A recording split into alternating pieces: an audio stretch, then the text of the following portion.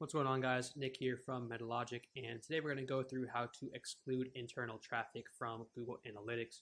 This way you won't have any false data in terms of users, event counts, conversions, etc. So without any further ado, let's go ahead and get into the video.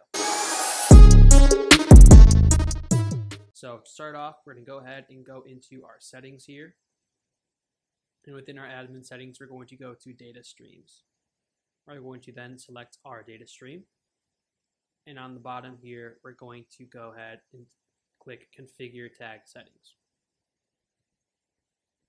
So in configure tag settings, under settings, you want to click the drop down show more. You want to click define internal traffic. And then here we can create our internal traffic rules. So let's go ahead and create one. So rule name, we're going to do internal traffic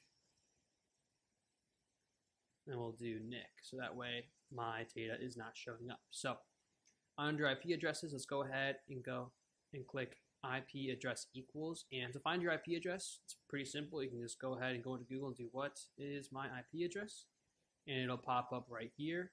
Um, if it doesn't for you, kind of pop up right here, you can actually use this website, what is my IP address, and get it from here. So let's go ahead, copy my IP address, go back into analytics, click or paste it here, my value, and press create.